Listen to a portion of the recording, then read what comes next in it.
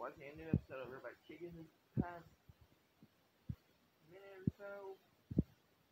And yep, um, they actually made fun of Spider-Man No Way Home. Well, not right, uh, not like No Way Home, like Far From Home. And and the problem is, is it was pretty dumb, honestly, in my opinion, they just knew they were going to do something dark in the sketch, and what they did last, they just made Peter kill himself by hitting his head on a table.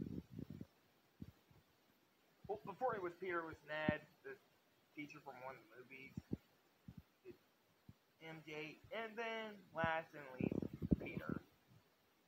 But Tom Holland, Veggie Chimbugs, he saw this sketch and he got pretty upset about it.